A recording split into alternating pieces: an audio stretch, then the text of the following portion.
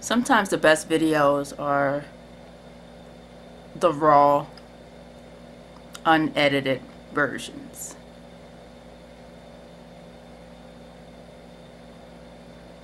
It's been very challenging to do this video regarding racism, sexism, and ableism.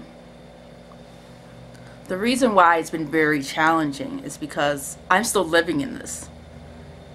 This is, you know, they say lived experiences, right? But I'm still living and I'm still telling my story. So when I sit down and think about and reflect on my life as a black woman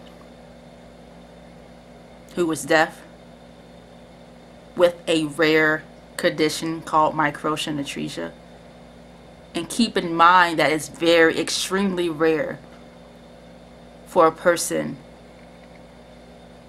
who is African slash African American to have this condition. So with all those identities and all those different cultures and all those different communities, I feel like I'm I'm like five different people at times. But I wouldn't change one thing.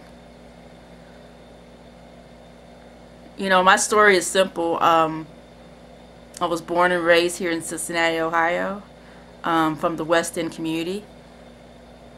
And my childhood was, was pretty awesome. Um, you know, I was born in the 80s, but kind of the 80s and 90s raised me. So I remember just hanging out in the neighborhood, just playing kickball, baseball, and basketball hide and seek. You know, we did all that. And I remember going to the neighborhood and just hanging out, being kids. You know, good times. Riding the bikes. Had a lot of um, accidents on the bike. A lot of scars, but we can talk about that later. Um, my, my childhood was great. I mean, I never had any issues. You know, I, I was born in a black community and I recall like hearing all the black music and the um, political music. You listen to Public Enemy, X Clan, and and it was just beautiful. Arrested Development. Um, my dad really made sure that we knew who we were as black folks and being proud of who we were. So when it comes to my blackness, I got that. That was cool. Um, I wore everything um, red, black and green. Everything African fabric if possible. Everything. I still do to this day. Um, now in regards to my disability. I believe I was so wrapped up and focused on my blackness I dismissed my disability. I wanted to just focus on something that was normal. I can go into the streets and talk to my friends about being black, black music, food, everything black. But it was very challenging for me to go out into my same community and talk about disability culture stuff.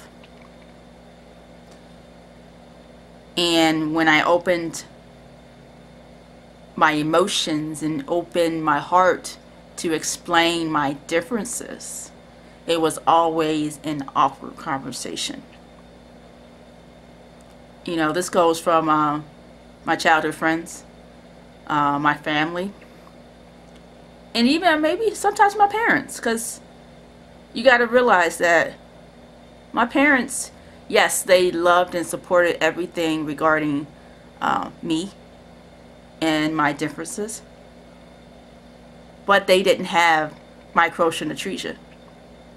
So they were more likely very knowledgeable about the medical side of what microtia atresia is.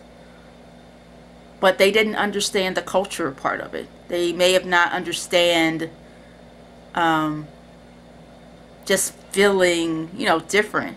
Yeah, they can. They maybe can feel that with being black and being around non-black people, and they not understanding the black culture. But with me, it was just a little different because no one, no one at that time looked like me, walked like me, had this condition like me.